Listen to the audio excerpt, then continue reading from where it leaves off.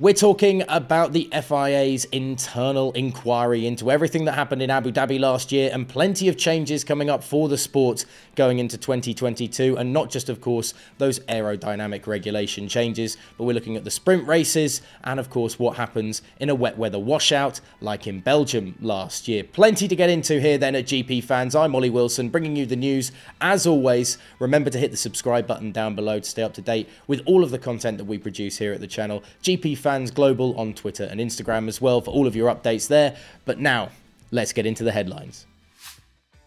The findings of the FIA's inquiry into the end of last season's Abu Dhabi Grand Prix have been presented to the F1 Commission and a number of changes are to be made to the upcoming season.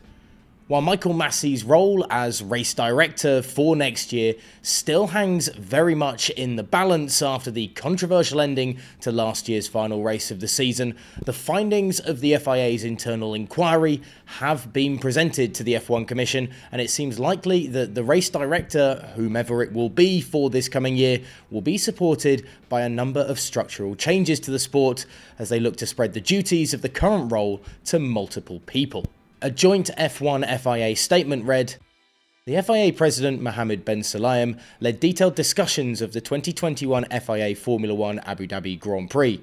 Feedback from the Commission on matters raised will be incorporated into the President's analysis and he will publicly present news of structural changes and action plan in the coming days. Other changes to the upcoming season come in the form of the sprint races, with the number of races set for 2021 to remain at three as opposed to the proposed six that was expected. Ferrari, Red Bull, and Mercedes wanted to see an increase in the budget cap in order to accommodate the initially suggested six sprint races, an idea that seven other teams on the grid were against, along with F1 and the FIA. So instead, with no budget increase, there will be just three of the sessions again this year taking place at Imola, Austria, and Brazil. In a change to the format, the top eight will score points instead of just the top three, with the winner taking eight points for a victory. Fastest in Friday's qualifying session will be given the accolade of pole position in the F1 record books rather than the winner of Saturday's race, but Saturday will determine the order of the grid for Sunday. Following a review of the three sprint events that took place in 2021 and a recognition by all that the format created positive benefits for the sport, three sprint events were proposed for 2022, acknowledging this as a sensible number in light of the pressures already on the teams for this season with the introduction of major changes to the regulations, read a joint statement from the FIA and F1 the Commission unanimously approved the three sprint events for the coming season, incorporating a number of updates to the format based on the feedback of fans, media, and the teams. And finally, the F1 Commission has revealed that after the horror show in Spa last year, that no points will be awarded for a Grand Prix unless a minimum of two laps have been completed by the leader without the safety car and or virtual safety car's intervention. This comes after wet weather in Belgium last year, of course, forced a three hour rain delay, followed by three laps behind the safety car in order for a result to be declared on the day.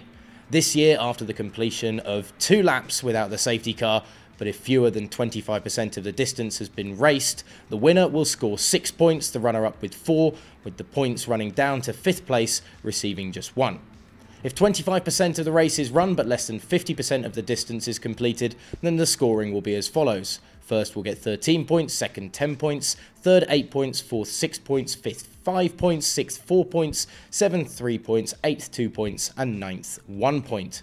If over 50% of the race is run but less than 75% of it is completed, the point scoring will be first gets 19 points, second 14 points, third 12 points, fourth 9 points, fifth 8 points, sixth 6 points, all the way down to 10th getting 1 point. The changes will have to be approved by the World Motorsport Council before being in effect, but it seems like this will naturally just be a formality rather than anything else. So it looks like the F1 Commission, the FIA, and Formula One in general is looking to take positive steps forward after everything that happened in Abu Dhabi and Belgium last year. What do you make of just three sprint races for coming up this season? Let us know in the comments section below. And will Michael Masi be the race director, albeit in a slightly more supported role, when we get to that first race of the season in March? As I say, let us know in the comments section below. Hit the subscribe button to stay up to date with everything we do here at GP Fans and get onto gpfans.com for all of your breaking F1 news.